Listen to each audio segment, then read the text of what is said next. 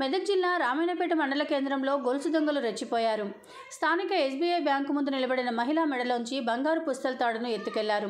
మెదక్ జిల్లా రామాయణపేట మండలం సూపరపల్లి గ్రామానికి చెందిన రాగి రాజమణి అనే మహిళ భర్తతో సహా బ్యాంకు పని నిమిత్తం చేరుకోగా ఎస్బీఐ బ్యాంకులో పని నిమిత్తం భర్త లోనికి వెళ్ళాడు. బ్యాంకు ముందు నిలబడిన రాజమణి మెడలోంచి బంగారు పుస్తల తాడును లాక్కెళ్ళారు.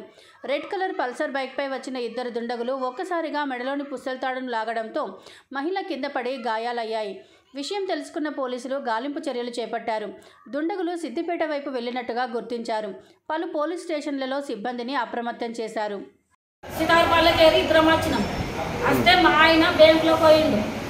నేను బండి కాడ ఇలా పడ్డా ఇలా పడితే ఇద్దరు వచ్చిండ్రు. బండి సాల్వ్ చేసుకొని పుస్తకాలు తెంపుకొని పోయిండు. నేను ముంగొట్టి పడ్డా మీ దేవురు నీ పేరేం పేరు? మీ దేవురమ్మా సుతారుపల్లి ఏం పేరు? నాగిరాజమల్లి